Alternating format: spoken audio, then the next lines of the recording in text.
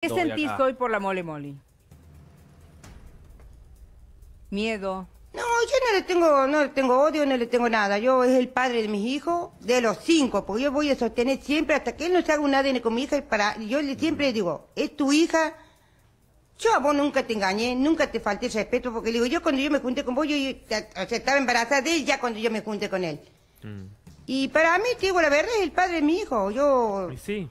Dijiste al ¿Qué te pasar... podría decir? No, no, no le tengo odio ni le tengo cariño, nada. Pues Ahora dolor. Dolor porque él habló muy mal de, de mi hija, va, de, de nuestra hija, porque si tenía problemas éramos nosotros dos. Sí, obvio. Yo no salgo a hablar mal de los hijos de él. Y dijiste Sí. al Ah, pasar... porque él tiene que... Y él no sabe lo que llora mi hija en la casa de ella, allá escuchando al padre que habla mal de ella. Sí, sí aparte... ¿Se puso mal? ¿Se puso Sí, mal tu sí, hija Sí. cuando lo escuchó? Y sí, saca la cuenta de decir que el padre dice, ah, pues yo no tengo la culpa, dice, es de la hija de ella que hizo todo el quilombo. ¿Cómo va a ser mi hija el quilombo? Si el quilombo lo hizo él acá. ¿Con tu hija fue violento también? eh, Ni, mi, ni mi hijo, ni los otros hijos hablan a mi, a mi hija Sí, ya. por- ¿Cómo no te va a doler que el mismo padre hable mal de la hija? A ver si le sale, una, si le sale el ADN que es el padre, a ver cómo va a quedar él.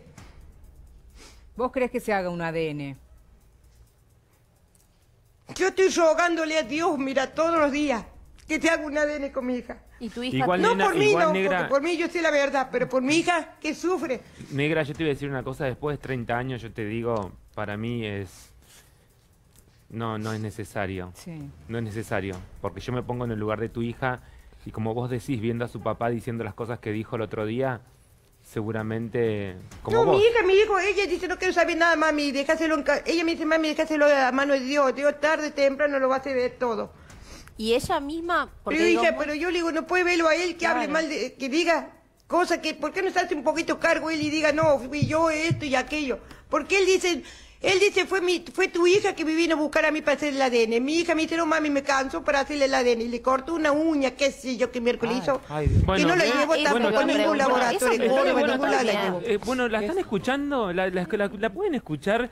Lo que dicen, o sea, nos, nos mintió Fabio, porque nos dice algo totalmente opuesto a lo que nos está contando eh, acá la negra. Y es una- y es porque una- está diciendo nada que ver. Y Flores Digo, era algo- también que le haga un ADN de cual. prepo a la hija. Que le vaya a arranque cortar una uña. digo, Pero es aparte, ¿qué le psicológica. cambiaría saber, la verdad, eh, de corazón, Marta, te lo digo, ¿en qué le cambiaría saber eh, si es la hija o no, si él la crió igual? ¿Qué importa, digo, la sangre? Si No, que igual, importa perdón, es- sumando Igual que tiene digo, derecho trajo dos chicos No, extramatrimoniales No, para, también. para Claro. mí, negra, para mi hija, para, para mi hija es mucho, porque Es lo que él, él, él, él la, Claro. la lastimó un montón. Bueno, usted no tiene Eso ni idea, porque yo estoy casi tres, cuatro veces, todos los días estoy casi con la gringa yo. Pero Negra, ¿te referís a que fue él violento también con tus va, hijos? ella- él tiene- ¿Él fue violento con tus hijos y con Marina? no, no fue violento con mis hijos. Ha no tenido fue- sí discusiones, como padres, ha estado todo. No, por ahí no fue violento Fue más, físicamente, más pero con la gringa, con la gringa siempre fue más, más. No sé Negra, qué tuvo Fabio con la gringa. que también tenés, me parece eso, que eso. tantos años tenés Eh, naturalizado un La montón de situaciones porque dijiste al pasar en un momento de la nota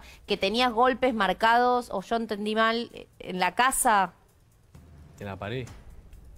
O marcas o yo te, por ahí te entendí mal. Sí, pero eso ya, ya, ¿qué hace? Tata? Ya, ya, ya está. Pero yo te quiero decir, el tema, No, yo vengo con no el tema de la gringa. El, digo- el- el chica, usted me dicen, ¿qué le vale, qué le vale el ADN? Para ella le vale mucho. Obvio. La identidad Claro. tiene derecho a Me parece que tiene- no, Tiene- no, Aunque ella me dice, mami, déjalo. Pero yo no sé, ¿En yo qué le gringa, es para tu padre, porque él puso en duda a a una que a mí me lastimó mucho, porque yo Claro. tuve 30 años con él y lo aguanté un montón de cosas. Y sí, te trajo dos chicos. Yo le aguanté un montón de cosas, le digo, todo lo que le aguanté a tu padre, le digo, para que me venga, me pega una puñalada por detrás. Si él tiene, él me engañó a mí con dos hijos. Claro. Por eso.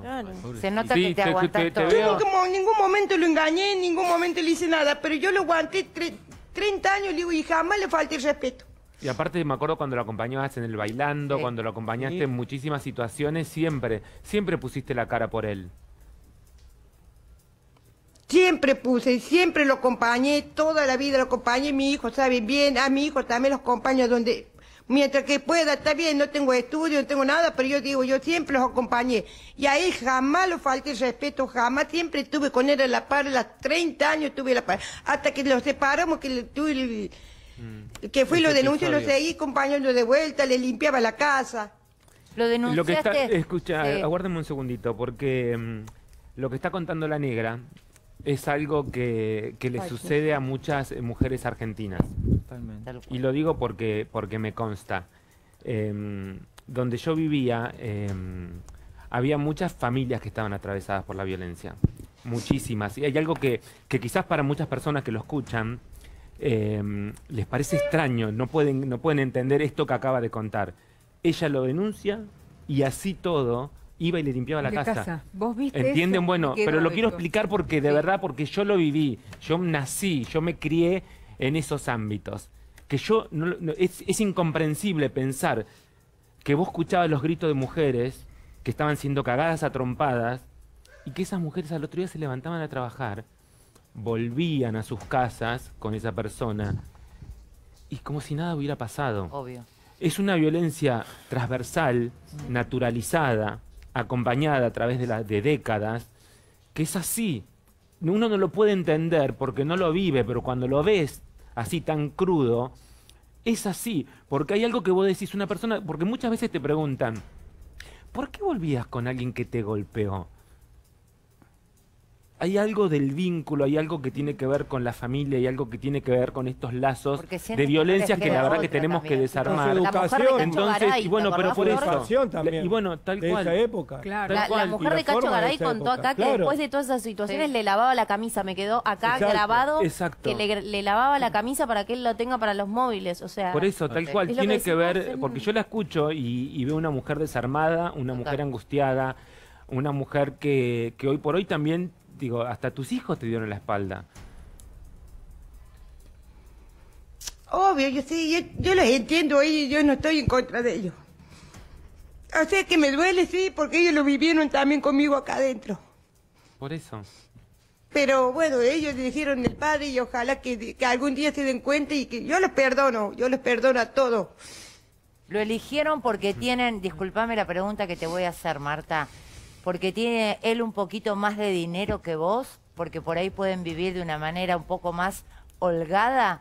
Si no, no entiendo por Es qué que lo siempre se los yo siempre se los dije. Yo siempre se los dije, porque tu padre tiene la plata. A uno, a uno de mis hijos le dije un día, crucé yo por ahí, le digo, "Ch- digo, ¿por qué no se van a hablar con tu padre? Y le digo yo, mira, tu padre está solo ahí. Oh, mami, déjalo. Digo, no sean así, le digo, vayan acompañando a tu padre. Porque una de mi hija vive el fondo, de ella está, ella vive el fondo, una de mi hija. Negra, Y bueno, y quedé, bueno, yo quedé con la gringa sola, yo quedé con mi hija.